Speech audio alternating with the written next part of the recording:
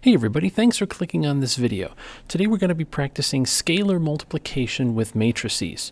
If you want to follow along, the links to the companion worksheet are in the description below, so let's get started.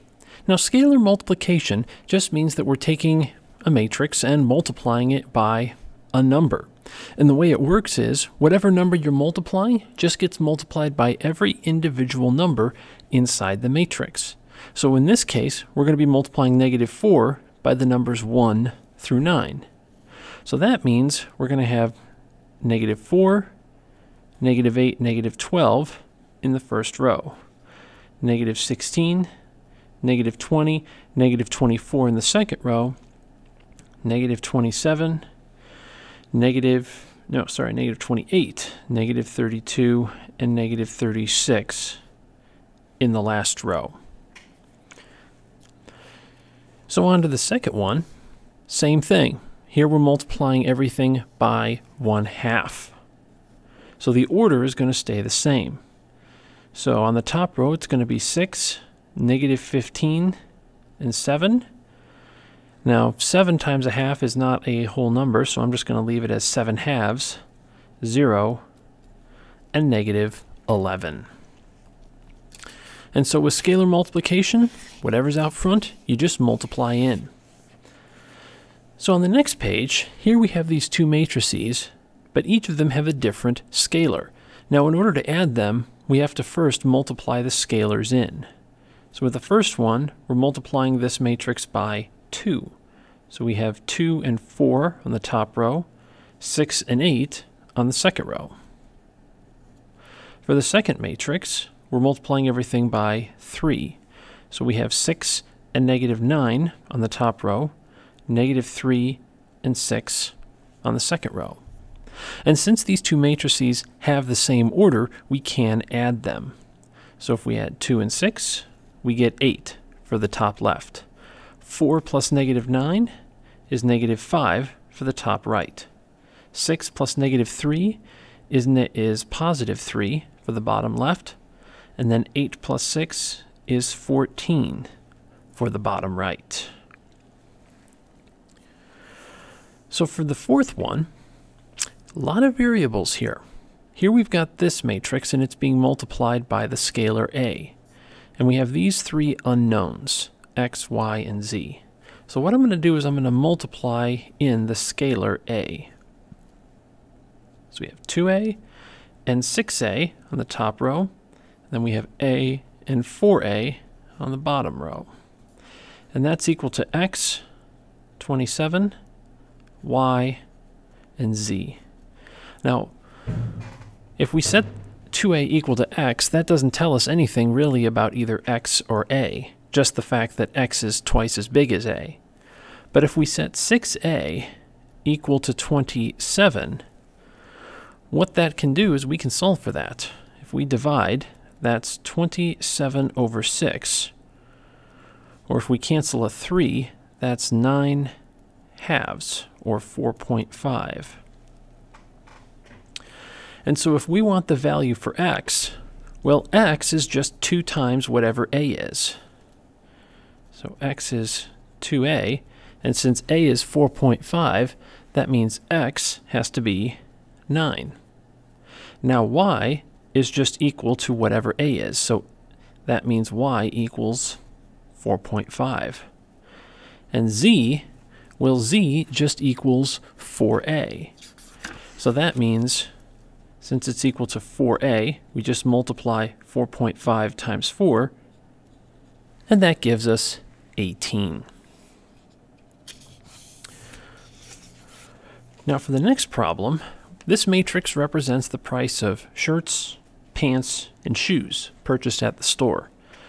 Now we want to write the scalar multiplication for a sale where all items are marked down 20%. Now when we mark it down 20%, that means 20% we don't now have to pay. But that means the price retains 80% of its value.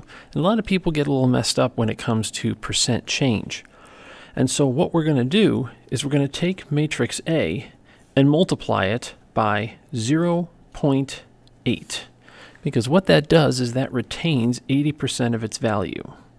So 0.8 times 16.99, 25.99, and 39.99. And so now, if I multiply each of these by 0.8, I get 13.59 for the shirt. We get 20.79 for the pants. And for the shoes, we get 31.99. And all we did was we multiplied this one matrix by 0.8. That was our scalar. For the last problem, similar to the one in the previous video, we have an equation involving matrices. So first I want to solve for x. So I'm going to add 2a. So 3x equals 2a plus b. And then we have to divide by 3. So x equals 2a plus b divided by 3. Now we've been talking about scalar multiplication, and we really haven't been talking about scalar division. And that's because anything that's written as division can be rewritten as multiplication. So I'm going to do that here. I'm going to rewrite this, and instead of dividing by 3, I'm going to multiply this quantity by 1 third. So x equals 1 third of the quantity 2a plus b. So first, let's find 2a. So that means all I do is I just take matrix A and multiply all the values inside by 2. So 2, 0, negative 2.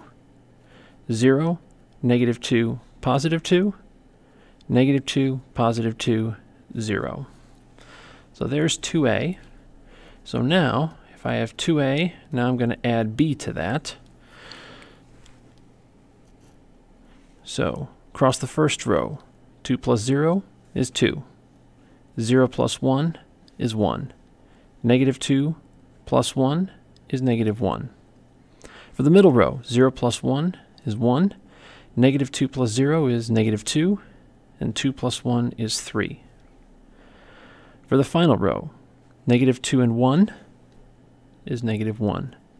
2 and 1 give me 3. And 0 and 0 gives me 0. So now finally, I need to multiply this whole quantity by 1 third. So all I'm going to do is I'm going to take what I found and multiply all these numbers by 1 third.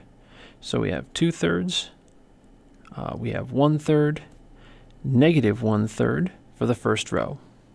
For the second row, 1 third, negative 2 thirds, 1. For the, for the last row, negative 1 third, 1, and 0. So every value here in this matrix got multiplied by one third. And with the exception of threes and zeros, we ended up with fractions. And it's okay to have fractions in a matrix. A lot of people think you have to have whole numbers. No, fractions are just number are different forms of numbers, and they're equally valid in a matrix too. Thanks for watching. If you liked the video, please give it a thumbs up. For more videos like this, click the subscribe button. If you have suggestions or problems you want to see worked out, type the comment below. To support the channel, click the Patreon link to help keep this going. Thanks so much for watching. And remember, the best way to understand something is to do it.